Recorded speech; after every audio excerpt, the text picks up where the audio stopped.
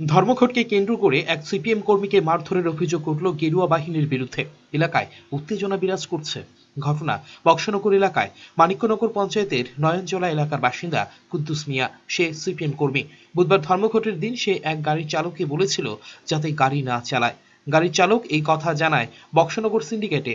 অভিযোগ তখনই বিজেপির পনেরো থেকে কুড়ি জনের একটি দল সিপিএম কর্মী কুদ্দুস মিয়াকে তার বাড়ির পাশে বেধড়ক মারধর করে। ভেঙে ফেলে সিপিএম কর্মীর মোটর বাইকটি। আক্রমণের নেতৃত্বে ছিলেন বক্সনগর গ্রাম পঞ্চায়েতের বর্তমান বিজেপি দলের মেম্বার কেরোশিল, মানিক দাস ও গৌতম ঘোষরা।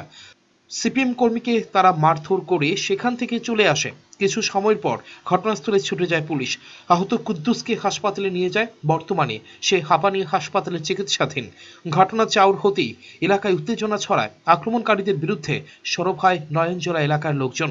কিন্তু স্থানীয় সিপিএম নেতাদের হস্তক্ষেপে পরিস্থিতি বেশি দূর এগোয়নি। এদিকে কুদ্দুস মিয়ার পরিবারের পক্ষ থেকে পুরো বিষয়টি জানিয়ে সন্ধ্যায় কেরোশিল মানিক দাস, গৌতম ঘোষ সহ আরও কয়েকজনের বিরুদ্ধে স্থানীয় কলমচৌড়া থানায় একটি মামলা করা হয়। এদিকে আহত দলীয় কর্মীকে দেখতে হাসপাতালে ছুটে যান সিপিএম রাজ্য সম্পাদক গৌতম দাস বিধায়ক শহীদ চৌধুরী রতন ভৌমিক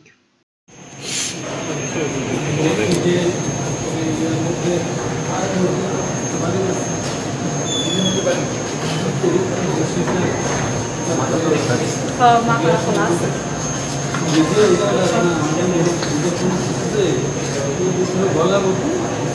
রড